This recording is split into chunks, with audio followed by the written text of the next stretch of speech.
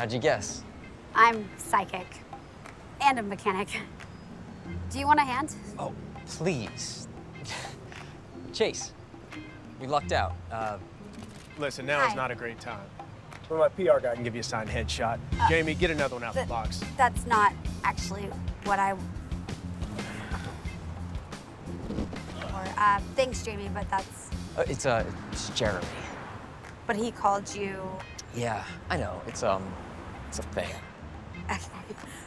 I was actually wondering if I could give you a hand.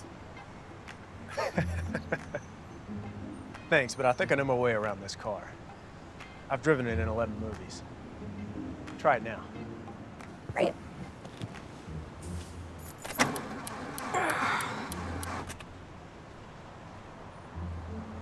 Still nothing.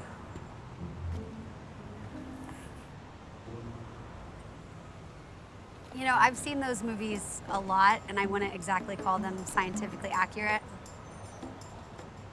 And you think you can do better? I mean, these overalls aren't just to keep ketchup off my shirt.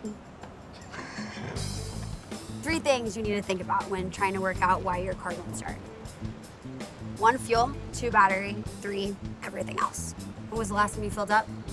I am not out of gas. Great. And I'm guessing by the jumper cables down there that it's not the battery either. Perfect. So that leaves a few other things. I saw you messing around with the alternator. It's not that, and even if it was, you're not fixing that here.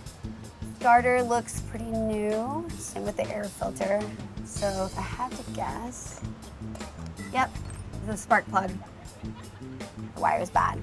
Shouldn't be too hard to fix. Pliers. We just need to open up the crimp connection. Screwdriver. And replace the old broken wire with the part that is intact. Close it all up. And give it a shot.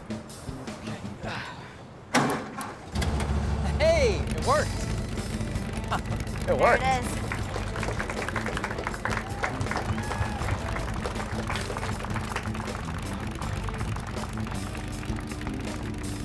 Okay, great. Let's get out of here before this day gets any worse. Sure. All right, um, just give me one second.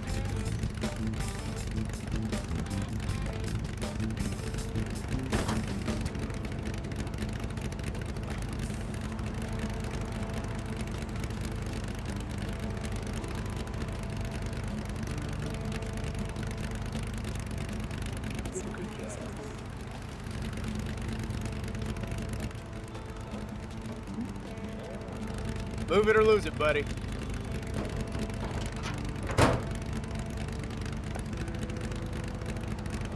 All right, let's, uh,